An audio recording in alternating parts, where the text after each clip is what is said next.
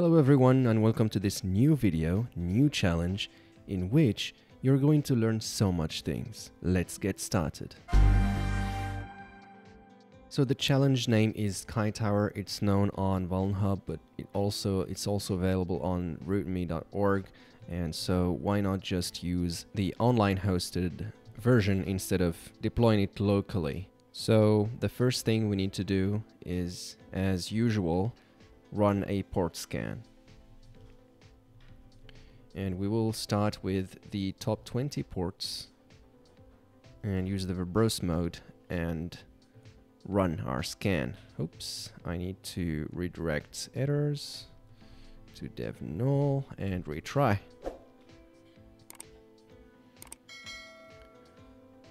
So this should give us a quick result to start our attacks Oh, I got a lot of filtered uh, ports.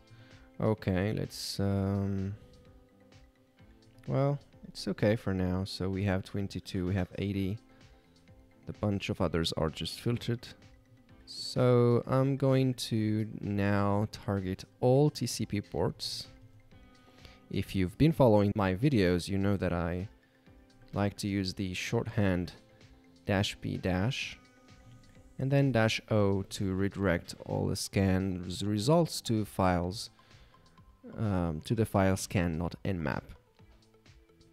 Let's uh, give it a spin and while it's running we're going to probe the port 80 and port 22. We're going to SSH using a user to ctf09.rootme.org and uh, because I've been using CTF09 for other challenges it's asking me to remove the key. So let's retry and yes we get a prompt. And let's use just a dummy password to verify that the service is running.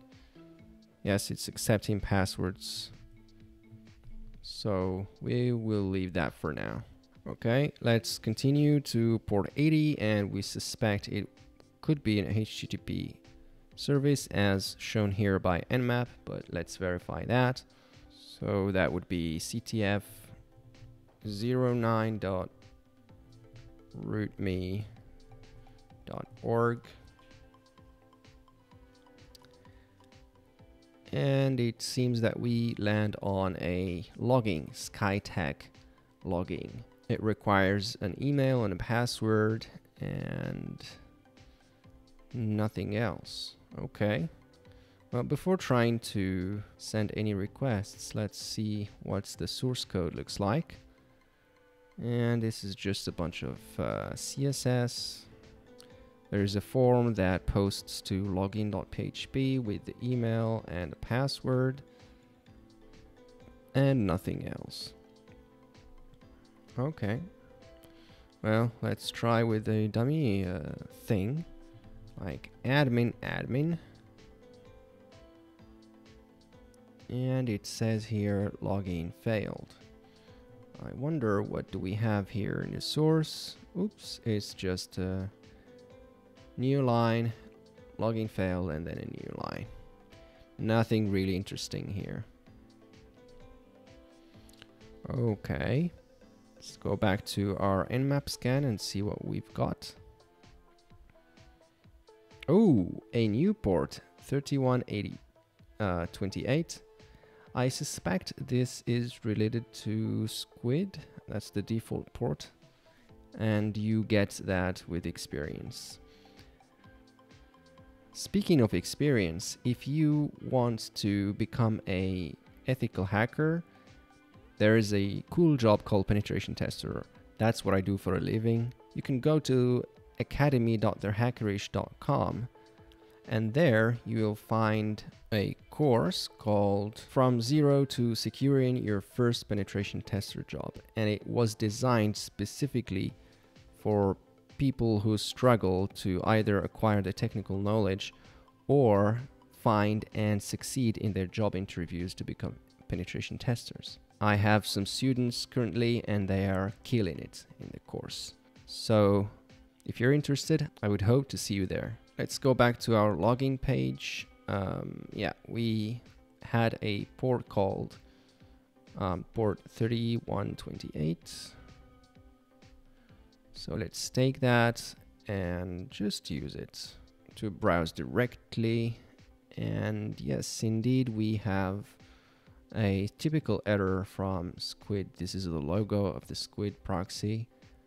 And it says here um, invalid URL, da, da, da, and this is the version of the Squid service running currently.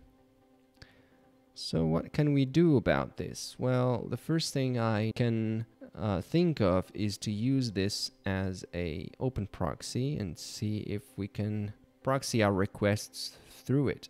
But we're not going to do that just yet. Um, I would like to see if there are any other ports. So 22 we already seen, 80, and yeah, it seems that these are the only ones that we have in the TCP realm. Let's go back to our web service and uh, see what we can do about the logging. So let's try something like a single quote for SQL injection. Login. Login failed. Okay.